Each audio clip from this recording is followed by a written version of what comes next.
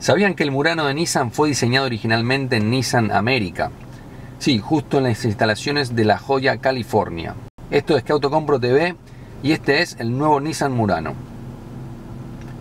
En 2010, durante el Salón de Los Ángeles, se dio a conocer la variante convertible del Murano. Sin embargo, y a pesar de su atractivo estético, duró poco. La producción de este cabrio se dio por finalizada en abril del 2014. Siendo honestos, era complicado combinar la funcionalidad de un crossover con un convertible. Para los que gustan de este modelo, así como se fue la variante convertible, asimismo llegó la tercera generación de este Nissan. Esta versión nueva se basó en el concepto Resonance presentado en el Auto Show de Detroit 2013.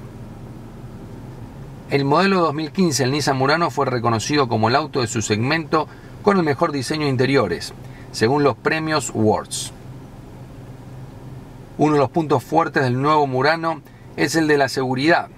El instituto encargado de valorar la seguridad que ofrece los autos nuevos en Estados Unidos le otorgó el máximo reconocimiento, Top Safety Peak Plus.